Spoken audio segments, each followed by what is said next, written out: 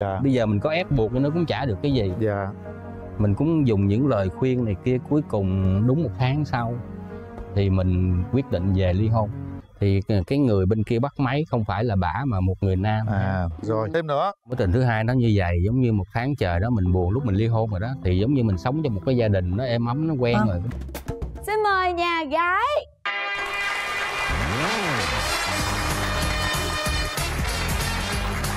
Dạ Chào nhà gái, mời nhà gái ngồi mời nhà trai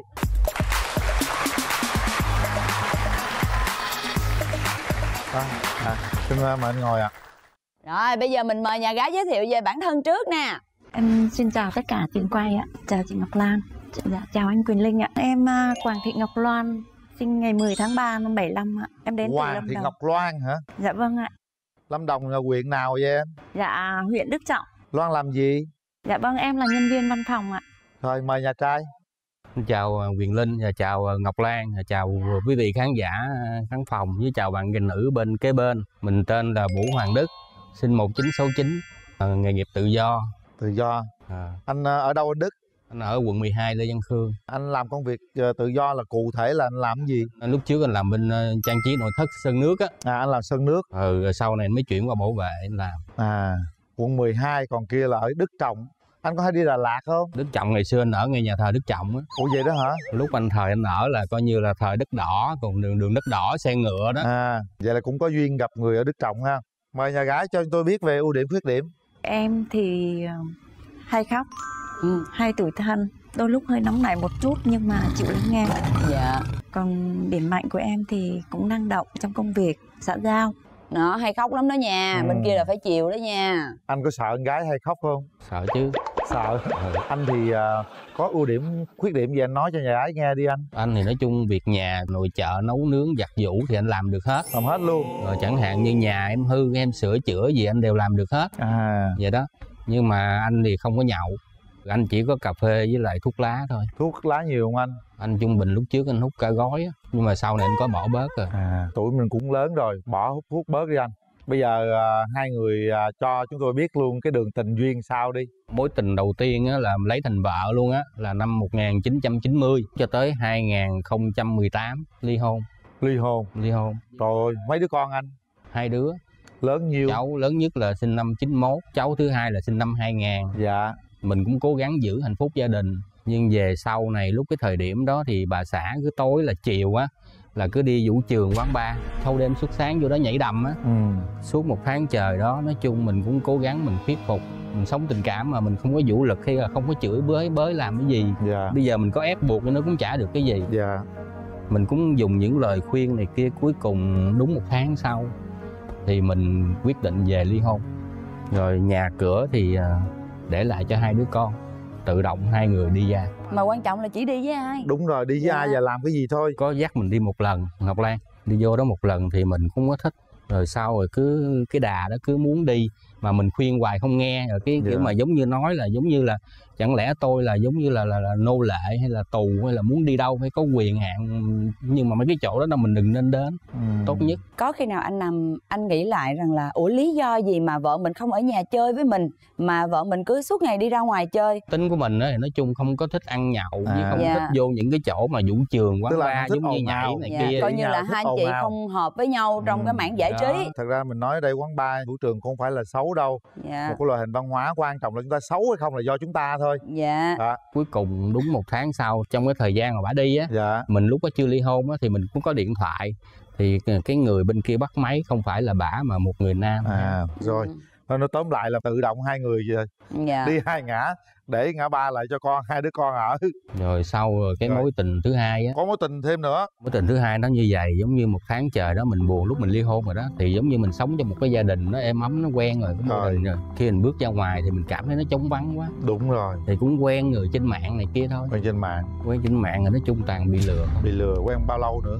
Quen cũng được một năm mà cứ mỗi lần lừa là cứ vài chục vài chục. Vài chục trai vậy đó hả? Ừ. Yên tâm quen bạn quen hò không ai lừa ai hết trơn á. Thì mình mới sợ để nhờ đó dân trình dạ. Mà tính ra đăng ký tới hơn một năm rồi đó. Hơn năm á hả? Đúng rồi. Tại tìm chưa được người thôi. Hoàn cảnh anh vậy thì tôi qua coi bên nhà gái coi làm sao. Chào rồi anh xin chào chị gái. Vâng. cái hoàn cảnh bên đó thì à, đường tình duyên nó trắc trở còn bên mình sao nè? Dạ vâng cũng chắc trở nên mới tới đây cũng trắc trở rồi Vâng. trắc trở làm sao? Vâng em thì ly hôn được 18 năm rồi ạ. Ừ. vâng ba đứa con nên là ở vậy nuôi tụi nó. Ba đứa con lớn nhất là nhiêu chị? Dạ 27 tuổi. Ồ nhỏ nhất? Nhỏ nhất thì 23 23 chia tay ông xã 18 năm rồi ha. Thì ờ, sau 18 năm thì em cũng có quyết định ờ, quen một anh 6 năm. Ừ. thì em cũng định đi đến hôn nhân ấy. Nhưng mà cuối cùng thì ờ, cũng có những cái quan điểm Không có trùng khớp với nhau. khớp với nhau dạ vâng. Mỗi người đều trải qua những cái sóng gió cuộc đời. Bây giờ chúng ta đang tìm cái sự bình yên đúng không? Vâng. Rồi bây giờ chị trở lại với câu chuyện ngày hôm nay. Chị muốn một mẫu hình người đàn ông lý tưởng sắp tới sẽ như thế nào em chỉ cần người ấy là biết chia sẻ. Chia sẻ vâng lắng nghe. Lắng nghe. Có một chút hy sinh và nhường nhịn em một tí bởi vì Ừ. cái tính em hơi nóng. Nóng. Vâng. Ừ. chung là phải hiểu chị một tí ha. dạ, dạ Ừ. hiểu em một chút. Cả hai đều à, đổ vỡ với đi đến đây thì em em nghĩ rằng là nhịn nhau một chút thật ra rất nhiều rất nhiều cặp đổ vỡ đến đây. Vâng, bây giờ họ đang gọi là rất là bình yên vâng, rất là hạnh phúc bởi vì họ trải qua sóng gió họ không muốn gây nên sóng gió nữa. Vâng. chính vì thế nên rất nhiều cặp đôi đến đây đã thành đôi rồi đó. Hy vọng ngày hôm nay à, hai bên đã nghe chuyện lẫn nhau rồi mình hiểu nhau một phần nào đó rồi. Giờ Đó. em sẽ hỏi nhà trai coi Ừ. là mong muốn có một người phụ nữ như thế nào nè. Nói chung anh thì chú mong muốn bên nữ thì nói chung chỉ biết cách sống biết lắng nghe biết chia sẻ thì bên đây vậy cũng muốn vậy Dạ. sống tình cảm với nhau thôi từ vì mình cũng đã trải qua cái giai đoạn Ừ. nó khổ rồi. Rồi. Thật ra thì hai anh chị cũng có cái sự đồng điệu với nhau đó là cũng đã từng đổ vỡ và lứa tuổi thì cũng xem xem với nhau nên bây giờ là không có cần gì ngoài sự bình yên trong Đúng gia đình rồi. hết. Nhưng mà quan trọng hồi nãy anh nói á là không thích người đi ba với vũ trường á đây có thích không? Dạ em cũng ít đi. Em thì thường có những cái cuộc hẹn như bạn bè thì đi Ừ. hát. Đi hát đi thôi. hát karaoke hát và karaoke đúng không? Vâng. Hát Anh karaoke hát được không? không? Hát karaoke anh khoái hát. Đó hát. rồi vô. Ngon hết Vậy là- vậy là hợp đó. Nhưng mà bên đây hơi nóng tính. Anh có nhịn được không? Anh thì nhịn nhục được nhịn nhịn nhịn nhục Phải không? được được. Nhiều khi mình nhịn vợ mình chứ nhịn ai đâu Mình nhịn sợ. quá sao mình nhiều nhịn khi vợ mình quạo quá chửi vài câu cũng ráng nhịn nhục chút xíu. Rồi bây giờ mình hỏi người thân đi. Nói Ok. chung là có cùng cái sở thích rồi đó. Ừ. nhà anh đi trai đi ai? mình. rồi có anh quyền linh lo cho anh ha. Rồi. Nhà gái đi với ai ạ? Dạ chị ruột với lại một người bạn thân ạ. Dạ. Xin mời đại diện nhà gái Lời đầu tiên thì tôi xin chào ông Mai Quyền Linh và bà mối Ngọc Lan. dạ Ngọc Lan là em gái út trong nhà. Số thì rất là khổ, làm mẹ đơn thân 18 năm nay mà không có được à, chồng phụ cấp một đồng nào hết á, tự lo cho con hết. Đến hôm nay á, thì con cái đã ổn định. Nói chung thì lớn tuổi ai cũng có cần có một bờ vai để nương dựa lúc tuổi già. Hai người có mặt trên chương trình này á thì cũng có một điểm chung với nhau. Mong sao á là cho nhau cơ hội để tìm hiểu. Bởi vì ai cũng lớn tuổi và ai cũng đã từng đổ vỡ. Là nói chung là chúng ta từng trải rồi. Xin Dạ. chào chương trình. Rồi Cảm ơn cảm ơn chị. Thôi bây giờ mình mở rào cho hai anh chị gặp mặt nha. Mở Mở rào đó, câu chuyện còn lại là của anh đó. Bình tĩnh nha chị. Anh đẹp trai. Nói lớn lên anh nha. Thôi, anh chào em. Dạ. Anh không có mong mong tặng em nha. Em có gì em hỏi anh đi. Em đang ờ, có một chút bối rối nên là em nhường cho anh hỏi trước em ở đức trọng là em ở góc đó luôn hả? Dạ vâng vậy hả? Em sinh ra và lớn lên ở đấy. Ngày xưa anh ở ngay ngã ba nhà thờ đức trọng á. Buổi sáng thường anh đi nhà thờ này kia anh ấy cũng đi lễ đó nhà thờ đức trọng. Dạ em thì ngay ngay chợ đức trọng thì em kinh doanh buôn bán và lớn lên ở đấy luôn. Anh thì hiện tại anh cũng làm ở sài gòn nói chung công việc nó cũng dễ không có gì khó. Vâng. Với anh có làm thêm cái công việc ở ngoài nữa. Vâng. Vậy đó nhưng cuộc sống nói chung anh thì sống nó ổn định vâng ạ. Nhưng mà hiện tại giờ anh ở với mẹ anh thôi. Từ mẹ anh là giáo viên về hồi giáo viên hưu á. Có em anh với lại hai chồng em anh nó lo rồi. Bản thân anh thì tự động anh lo mình anh thôi. Anh cũng muốn kiếm một người bạn đời sống biết chia sẻ buồn vui với nhau. Vâng. Còn anh thì anh không có nhậu à. Anh nhịn nhục được. Dạ. ví dụ như anh nhịn em thì anh nhịn được. Ví dụ như người ngoài ngoài đời xã hội thì bắt buộc mình phải có tiếng nói rồi. Nói câu nhịn nhục thì à, nó hơi nặng một chút có thể là anh nhường em một chút khi em nóng. Thì đúng rồi. Dạ vâng mà em cũng dễ dạy lắm. Em nguội rồi em cũng rất là dễ dạy dạ. Cuộc sống của em cũng còn một chút lo lắng. Anh đến với em thì đừng có nói những cái điều lo lắng cái đã. Mình cứ tìm hiểu nhau coi có những cái chung hay không. Và có những cái mình hợp với nhau nữa. Còn vấn đề mẹ hoặc là bố thì anh còn mẹ đó là một điều hạnh phúc ạ. Bố mẹ em đã mất hết bố anh thì mất lâu rồi anh còn mẹ thôi. Còn nói về cái cuộc sống thì cái việc mà hợp nhau á là quan niệm giữa hai người biết sống biết nhường nhịn nhau mà sống thôi. Vâng anh. Em muốn về sài gòn sống hay là em anh về đâu anh sống cũng được? Em thì em luôn tạo điều kiện cho mình là mình có chút riêng tư cho nhau. Nếu như anh muốn em về dưới này thì em cũng về được hiện tại thì em ở trên đấy thì ở về nhà của bố với lại chị gái anh ạ và đứa con. Thì hai anh nó thì một đứa đi nhật và một đứa đi đức. Nên là anh muốn em đi đâu em cũng đi được ạ. Hay quá. Anh cũng vậy nữa cuộc sống hai anh cũng muốn đi đâu anh muốn vui anh muốn đi xa nữa. Bữa anh cũng nghĩ rồi anh có nghĩ có thể anh dắt cái ba lô anh có thể anh về hướng lâm đồng hay anh về hướng đà lạt anh về hướng đồng nai. Dạ. anh tự gầy dựng anh sống được. Dạ vâng anh chỉ mong cuộc sống như vậy thôi. Còn đến với chương trình á anh cũng mong rất mong tìm được một người bạn đời. Anh nói thật sự luôn. Ở cái lứa tuổi của em em muốn kiếm cho một mình cái chỗ dựa vững chắc. Chứ còn không được lựa chọn để mà yêu đương nữa.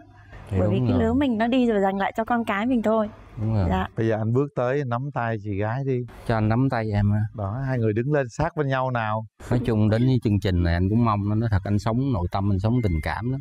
Dạ. bao nhiêu năm tháng này Em cũng hơi chơi run. vơi sống một mình không à. Em hơi run một chút. Anh có thể đi về trên đó tạo nghiệp với em cũng được.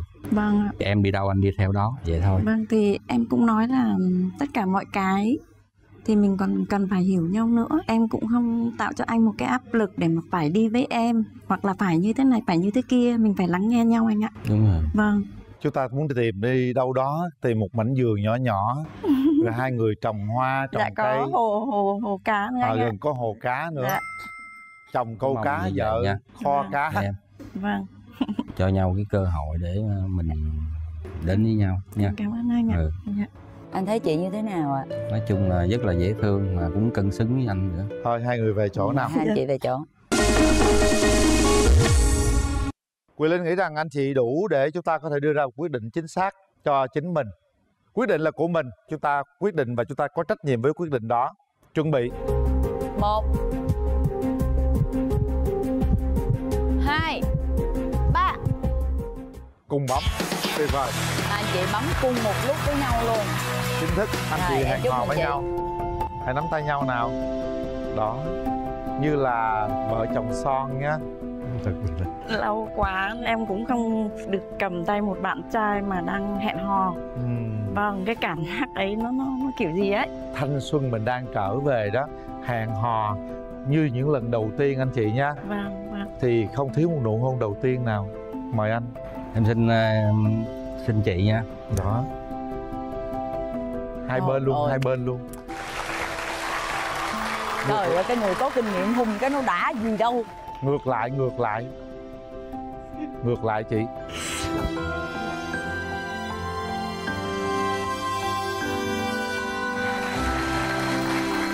chị làm cho em hạnh phúc lây luôn á. Thiệt á. Thiệt. Mọi người có công nhận vậy không đó? Cái hạnh phúc nó lan tỏa khắp cái khán phòng này luôn á. đó. Đến tuổi này thì à, chúng ta chỉ cần bình yên chỉ cần có nhau để dựa vào nhau để chia sẻ lẫn nhau những vui buồn trong cuộc sống. Chúc anh chị hạnh phúc nha. Vâng. cảm ơn Quyền Linh nha. Rồi. cảm ơn Ngọc Lan đây là Cảm phần ơn chương quà trình. của chương trình gửi tặng anh chị. Chúng tôi sẽ gửi tặng các bạn một món quà đó là một bộ à, sản phẩm nhãn hàng Amity trọn gói với các sản phẩm nước lau sàn, nước giặt, nước xả vải, nước rửa tay, nước rửa chén. Nhãn hàng Amity sẽ đồng hành với các bạn trong cuộc sống. Amity, bạn nhỏ của mọi nhà. Quà tặng đến từ hệ thống phòng tập công nghệ EMS 25 feet là gói tập một tháng công nghệ EMS trị giá 7,5 triệu đồng. Tập luyện công nghệ EMS chỉ 25 phút một buổi và hai buổi mỗi tuần lấy lại vóc dáng như ý. 25 feet, hệ thống phòng tập công nghệ EMS đầu tiên và chuyên nghiệp nhất Việt Nam.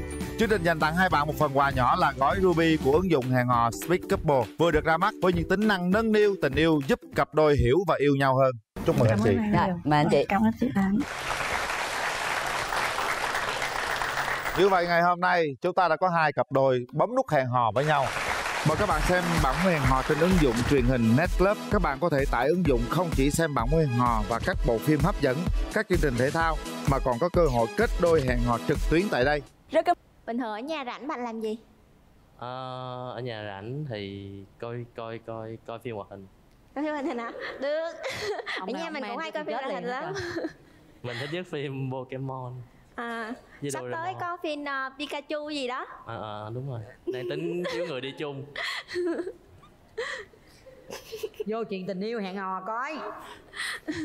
Um, bình thường ở nhà thì giờ mình cũng có chơi game á không biết bạn có chơi game không hả? Bạn đánh liên quân hay là mấy cái đó mình chơi hết á. Ủa sao tới đây nói chuyện ăn chơi không vậy? Người ta vô chuyện tình yêu đàng hoàng thấy không? Bây giờ mình cảm nhận thế nào rồi á mình coi hẹn họ đâu em rảnh mấy giờ em thích cái gì? Tự nhiên rủ đi chơi game rồi Doraemon tùm lum dạ cái đó là hoạch định ờ, hẹn hò sắp tới đó anh. Binh hả? Mới vô binh nè ha. Ông kia chủ động lên coi men lên coi. Nói đi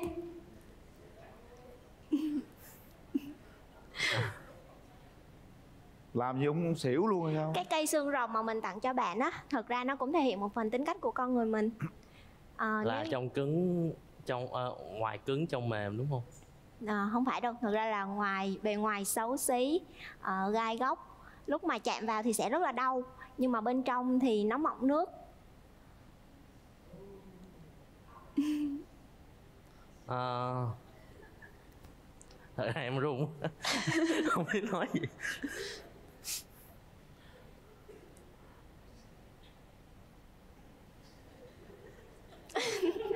Chắc tình yêu đến từ ánh mắt. Trời ơi anh mắc cái gì anh mắc bây giờ anh hỏi em nè em thích gì? Em thích làm gì? Em thích đi đâu? Em thích cái sự lãng mạn khi tổ chức sinh nhật hay không? Ví dụ hẹn hò em muốn hẹn hò ở đâu? Hỏi đi. Ờ, em thường ờ, mình thường ờ, hay ờ, nếu rảnh thì đi ờ, đi mình đi cà phê hay là đi ờ, đi xem phim để hẹn hò thì ờ, bạn bên ấy có chịu không? Thì mấy chuyện này mình dễ dãi lắm. Nên mình không có đòi hỏi ví dụ như tới sinh nhật của mình á nếu như mà bạn bận quá bạn có thể nói ừ hôm đó mình bận mình không tổ chức được không sao hết. không có cần nhờ thằng bạn đâu đừng đúng rồi đừng có nhờ người nọ người kia hay là bận quá mà không nhắn tin được là anh yêu em gì mà nhờ bạn nhắn tin giùm là cái đó không được không nha. không cái đó tự nhiên mình phải nhắn rồi chứ. Đâu để bạn nhắn được. Thì nếu nhớ thì tặng cho một món quà hoặc là nhắn tin một cái cũng được cảm thấy vui rồi chứ đừng nhờ người khác. Bị lận ghim rồi không làm Ờ, quan điểm của bạn thế nào về ờ, con trai kiếm ít tiền hơn con gái? Kiếm ít lương hơn con gái cái đó mình thấy cũng bình thường thôi. Thì nếu như mà tức là cố gắng hết sức rồi á mà không làm được thì nó khác với cái vấn đề là ờ, có khả năng nhưng mà không chịu không chịu làm việc không chịu kiếm tiền. Ừm, tương lai bạn có chịu xuất ngoại cùng với mình hay không? Ờm, cái vấn đề của mình ở đây chỉ là tại vì mình ờ, không có giỏi về ngôn ngữ nước ngoài nhiều á mình ờ, mình chưa từng tiếp xúc với tiếng Hàn. Nên À, thật ra là chỉ cần tiếng Anh với lại ờ, mình qua bệnh trước cỡ nửa năm thì mình ổn định rồi mình sẽ đem bạn qua luôn. Những cái đó thì mình không sao hết. Sarah nghe Sarah nghe? Giờ nói làm sao cho người ta người ta mới đi theo chứ trời ơi bây giờ phải tỏ tình phải hẹn hò như thuyết phục chứ ngồi im không hả? Nói rõ quan điểm bạn biết tiếng Hàn đúng không Ờ, tiếng Anh. tiếng Anh thì biết nhiều hơn. Chắc rung quá nói tiếng Việt không được nói tiếng Anh đi.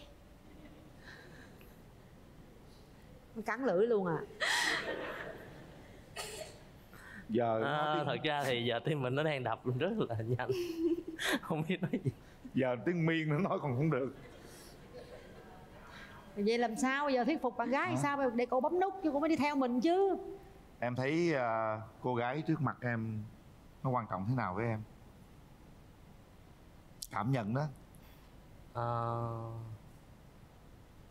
có rung đúng động. đúng đúng hình mẫu lý tưởng lúc lúc mình muốn lên đây. À đúng hình mẫu lý tưởng. Bây giờ thật sự trong con tim mình nó có thay đổi điều gì chưa? Có rung động gì không á? Thì nãy giờ đang đập chứ đâu có ngừng đập đâu chị. Nó đọc có thay đổi khác thường không có. Nó nó nó nó nó, nó rộn ràng. Hơn nó rộn ràng phải không? Em có nói thật đi thật sự em có thích cái người đối diện không? Có. Có. Thích nhiều. Thích nhiều luôn. Bây giờ bẻ muốn gãi cái tay rồi ha. Thôi được rồi bây giờ em muốn nói hứa với cô ấy một câu gì đó rồi chúng ta sẽ quyết định thôi. Em nói một câu gì đó tận đáy lòng của mình. Hứa thì em không hứa nhưng mà em muốn ờ, cuộc tình này chúng ta có thể kéo dài hết sức có thể. À, mình chỉ có một cái yêu cầu là nếu như giống như hồi nãy bạn nói á là có cái gì ở trong lòng thì cứ nói hết ra. À, đúng sai hay là hài lòng không hài lòng mình tính sau chứ đừng có giấu. Rồi với lại à, mình cần một sự tin tưởng à, tin tưởng vô điều kiện á. Có những hành động mình làm có thể bạn không hiểu không hiểu thì cứ hỏi chứ đừng hiểu sai hay là à, không tin tưởng đừng nghi ngờ. Không Đúng tin tưởng thì chắc chắn tin tưởng một trăm phần trăm. Thì nếu Ừ. khi đã yêu thì đã quen. Hết thời gian. Ông tâm sự bạn gái mà tôi buồn ngủ luôn á trời. Rồi. Ông nhìn xuống không dám nhìn lên thẳng mặt bạn gái nữa. Đặt tay vào nút bấm đi em. Bây giờ quyền quyết định của các bạn. Chúng ta có 30 giây để kiểm tra lại con tim của mình xem thật sự đây có phải là người sẽ cùng mình đi suốt cuộc đời hay không có phải đây là nửa mảnh ghép của mình hay không? Chúng ta bấm vì trái tim của mình nha. Đừng bấm vì ai hết. Không quan tâm tất cả điều gì xảy ra xung quanh chúng ta mà chúng ta phải kiểm chứng lại con tim của mình. Chuẩn bị. Một. Hai. Ba.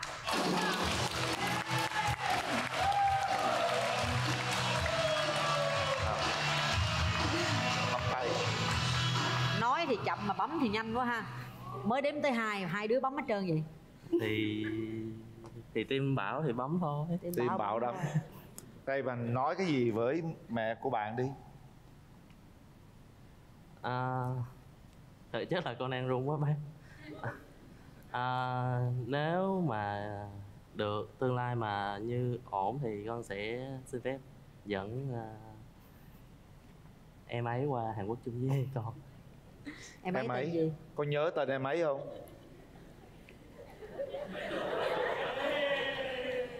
Tên gì? Rung.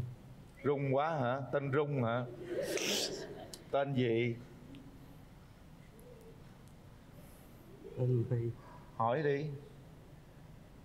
Ừ, tên My biết mà biết mà. Xạo dễ sợ không ồ xạo cháu trở nữa.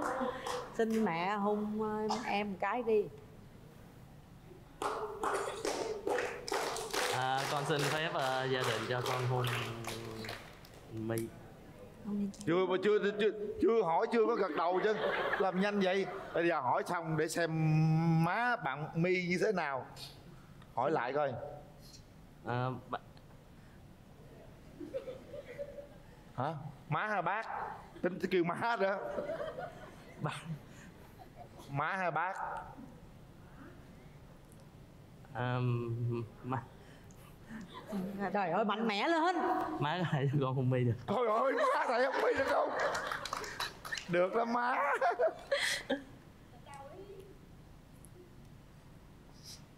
Sao cô Chúng nó đã gọi là cùng chung nhịp đập đó cô à Gật đầu đi cô.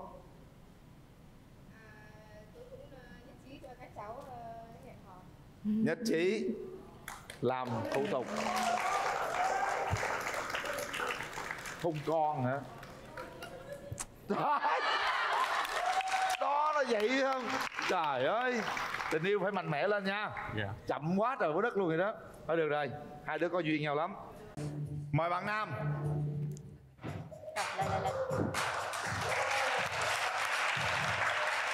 Rồi mời đi bạn.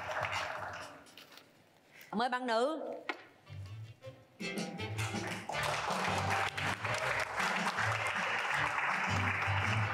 Dạ em chào chị ạ. Rồi ngồi đi em. Rồi em gái tự giới thiệu về mình đi nè Dạ à, em xin chào chị Cát Tương Chào anh Quyền Linh và chào quý vị khán giả. Em chào anh bên cạnh ạ. Rồi chào em. Em tên là gì? À, Dạ em tên là Cá Thị Thơ ạ. Năm nay em 28 tuổi hiện em đang làm điều dưỡng tại biên hòa đông nai ạ. À mình Dạ. sống và làm việc ở đó luôn hả em? À, dạ đúng rồi chị. Quê mình ở đâu? Dạ em Nghệ quê An. ở nghệ an ạ. Nghệ an. Nghe giọng Dạ. nghệ an. Dạ đúng rồi ạ.